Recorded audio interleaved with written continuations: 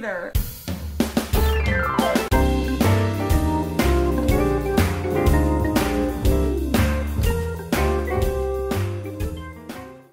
Hi, and welcome back to another edition of Cooking Cris's Dishes, where I, the Goode Ole Boy, will be making recipes from recipesthatcrock.com that has almost 400 recipes on the site. Earlier I had been saying over 250.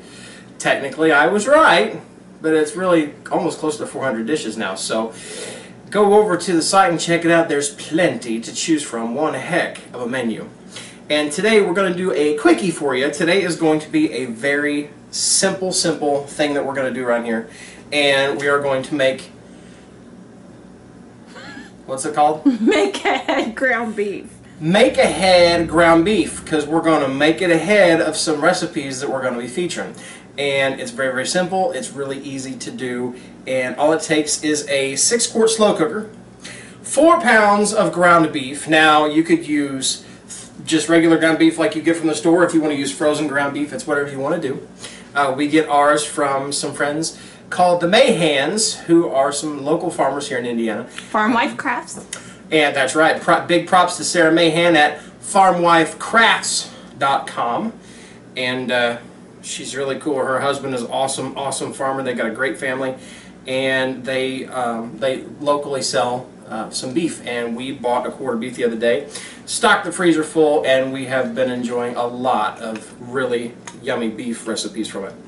And today we're going to use four pounds of their ground beef. Uh, that's four pounds frozen. Listen, that's frozen. We're going to use two chopped onions and four, three to four um, three to four. I can't say it right. It's okay. There's an ant on our counter. Oh no. I might have been an uncle. I don't know. Spring's here. Ants are here. And those stupid little ladybug beetle thingies. Y'all have a problem with those where you're at? Because we do around here. How about a few tips down in the comments below of how to get rid of ladybugs? We need three to four cloves of minced garlic, or we're going to use some freeze-dried garlic, so I'm using four teaspoons of minced garlic. You need one 10.5 ounce can of beef consomme, and then salt and pepper to taste. Now, let me tell you before I start to put this together, beef consomme has salt in it. And so when you go to salt and pepper your beef, just realize that you might not put as much salt in as you think you would, uh, and you can always salt it later, and it'll be just fine. So I'm going to take my four packages of ground beef, and it's going to be kind of like a little puzzle putting this all in there because ground beef doesn't mush up, or frozen ground beef doesn't mush up. So you got to put it in there just right strategically, or as I call it, you jam it down in there just like that. and then top it with your onions. And your uh, garlic. And I went on the high end of the garlic because we dig garlic around here. We gar like it. And then your beef consomme right on the top. And then I'll use my non-beef hand for the salt. Like I said, I'm going to put in probably about no more than a teaspoon of salt on top of that, plus or minus. And before I touch my pepper, I'm going to dry my hand off there. Um, Yes. it's blinking and warning me, and it has zero minute flashing. So did you? I'm afraid it's gonna stop recording on you. Is it still recording? Right now it is, Okay.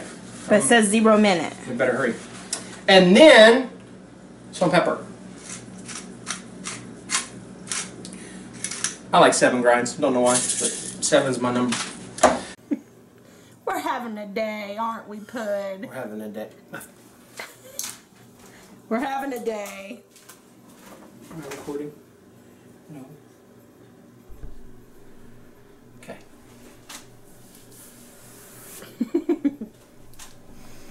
okay, so we had a little technical glitch with the camera there. We're all good now. But now everything is in our slow cooker. Our onions, our beef, our garlic, our consomme, our salt, and our pepper. So all you do with it now is find the lid, pop it on there, and then turn it on to high since I have frozen ground beef for two hours. And come back in a couple hours. And that's when you're going to want to take your handy dandy mix and chop and chop it up. Hiccup, sorry. All by myself. Don't want a beef all my by myself. Anyway, you take your handy dandy mix and chop and you chop it up as fine or as chunky as you want. We were gonna make tacos today. this is where we have our little confessional about just how perfect we're not. And so I went ahead and pre-made some ready-made ground beef and I chopped it up real fine with the mix and chop. You know, because you know with tacos you want to have like a finer beef tip. No, you. I I do I do. Um, but you know, like Taco Bell, or if you go to a nice Mexican restaurant, their beef is all ground up really fine, with the onions and everything to put in there. And so, back here in this slow cooker, I made a bunch of ground beef, just like we did here. Um, and then my wife and my beautiful daughter, they put together this uh, taco mix that was beans and onions and peppers and it smelled so good and it was in a really cool vintage slow cooker from my mother-in-law. And then it fell off the counter. Here's here's what it looked like that's tragic. Except for the dog. The dog thought it was great because he got it to he got to it before we could clean it up. So anyway i'm going to show you now by unplugging this and moving it out of the way. I'm going to show you oh, a little shaky shaky there. I'm going to show you what it looks like now. Like i said i've already taken my mix and chop and ground all this up just like that you can see it's all all mixed up, ground down. The onions have cooked down. The beef is all cooked. Hey, Pud. Yeah. I'm gonna be that um, food police again and tell you to get the bowl from the raw ground beef off before you start messing with the cooked food. Okay, food police. Yes, sorry. I don't like tummy aches. And you might wash your hands a little bit.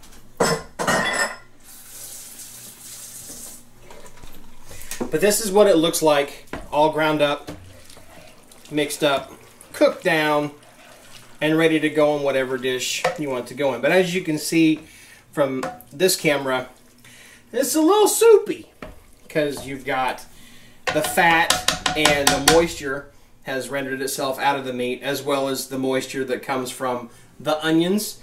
So it's really watery. I'll set this right here. So what I'm going to do is learn from previous mistakes.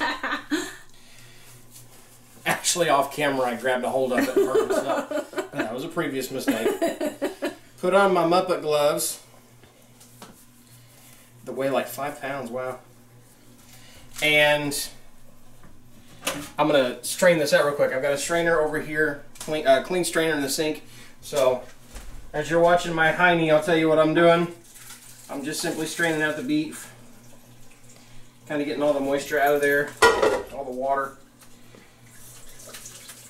Look at that. You see that? So much water's coming out of there. We can't really, but Oh. we believe you. We hear it. It's raining meat. Hallelujah. It's raining meat. it's still going. Still dripping. A lot of drippings there.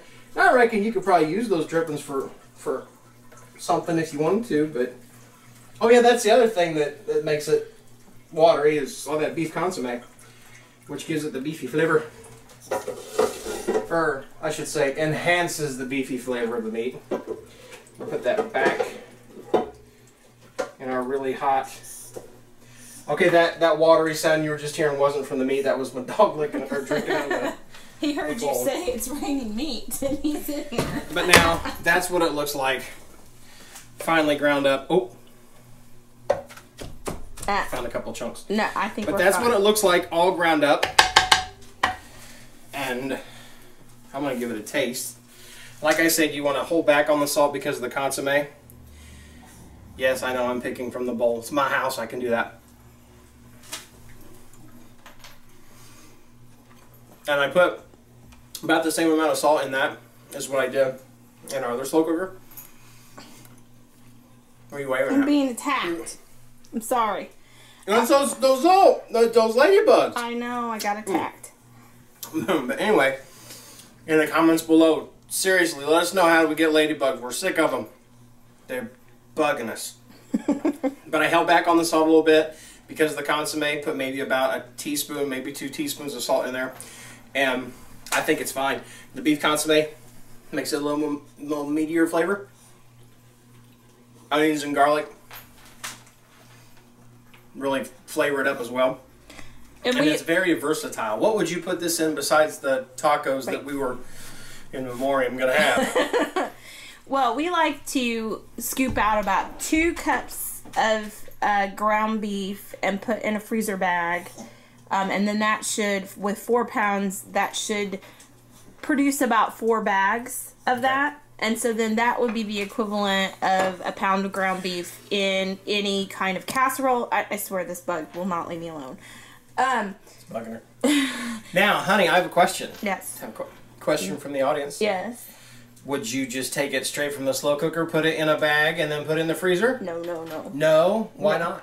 because one it's going to be hot and you're putting hot things in a plastic bag and that's probably going you're probably going you would get burned. Um, and then um, also it produces a lot of steam uh, which would produce a lot of ice crystals and so if you don't like freezer burn which most people don't that's one of the reasons why things would do that. Um, also if you put warm things in your freezer, then whatever it's laying on or beside is going to raise the temperature of that, and that's not real. That won't make the food police happy, or the food safety police. I'm not a food policer. So what we do is we dump it out on the tray like what you've got there, and let it cool before we put it in the bags and put it in the freezer. That's right. But going back to your original question, oh my gosh, Do y'all see that beetle? I can see it from back here. Ain't nothing I can do he won't it. leave me alone. Um, no. Uh, what we use this, you could use it if you make lots and lots of tacos. You could go on and season it with your taco seasoning if you wanted. But we use it in everything from spaghetti to tacos to beef stroganoff to soups. Um, um, he really is coming after me. Um, beef tacos, uh, like any kind of casserole, pizza. We make pizza. It just makes it. It saves you the step from having to brown your ground beef. You've already got it ready made. Ready Yes. made ground beef. Yes. So what I will do, I guess you could let it cool off in the slow cooker. But if you're trying to you're trying to speed this stuff up, you want it uh, you want it done quickly. Take it and put it into a cookie sheet, just like that. Give it a little jiggle,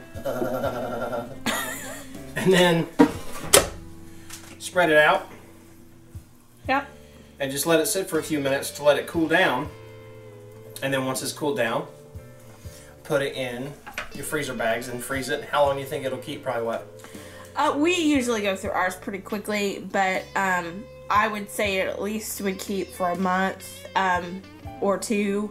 Um, the longer it stays in there, the more More it will- susceptible it is to be freezer burnt. freezer burn or it just will it will degrade in flavor a little bit so but we go through it so fast and so that's like today we're doing eight pounds which we'll cook through several of those today but we're doing eight pounds to stock back up our freezer you'll just find that it's easy i mean even if you're like you're someone who likes hamburger helper or something like that this is just really a quick way to already have that browning step done Yep.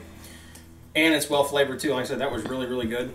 Mm-hmm. So, uh, and I'm sure you're going to see some future recipes where we've taken this beef plus the other one we got cooking and uh, and show them in recipes. And hopefully, one of those recipes someday will be tacos. Yes. Miss Ad was very disappointed that all of her hard work. yeah, yeah, went all over the floor. So, but that is a simple recipe, uh, really quick and easy way to make some ground beef ahead of time. And if you like what you see, give us a subscribe there uh, down on this video, and check us out at youtube.com/slash MikeyGoode. And uh, also give us a like at Recipes That Crock over on Facebook, as well as Goode Ole Tunes with Goode Ole Boy over on Facebook as well, where we do recipes as well as music and others other fun things from the family. And of course, check us out at recipesthatcrock.com and uh, you can see our close to 400 recipes now on the site. We want to thank you guys again for watching. We'll keep cooking and you keep watching and all will be well. Bye.